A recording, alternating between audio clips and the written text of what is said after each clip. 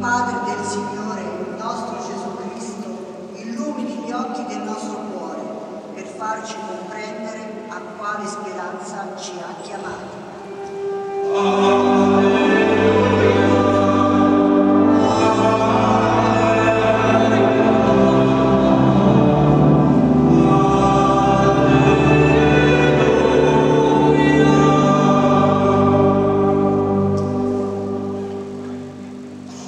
Il Signore sia con voi.